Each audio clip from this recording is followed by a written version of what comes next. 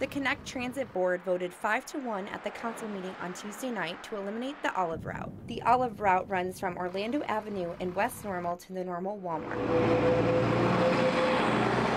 Route changes will be taken into effect on July 1st under Connect Transit's new schedule. I experienced the Olive Route to get more of a perspective on how this change will affect regular transit riders. When I normally catch the Olive to go to the Fort Jesse Medical Center, that is where my doctors are, and that is where my physical therapy is. So I was kind of concerned because am I going to have to walk there?